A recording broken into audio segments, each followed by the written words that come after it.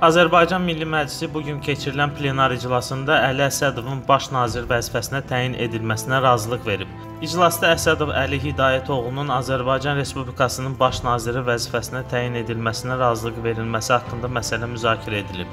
Çıxışçılar Əli Əsədovun indiyədək olan fəaliyyətini müsbət qiymətləndiriblər, dövlətçilik ənənələrinə sadiq şəxs olduğunu qeyd ediblər. Müzakirələrdən sonra sənəd səs verməyə çıxarılaraq qəbul edilib. Daha sonra Əli Əsədov çıxış edərək göstərilən etimada görə təşəkkür edib və etimadı doğruldacağını bildirib. Xatırladaq ki, sabiq baş nazir Novruz Məmmədov Azərbaycanın baş naziri vəzifəsindən azad edilməsi ilə bağlı prezident İlham Əliyevə müraciət etmişdi.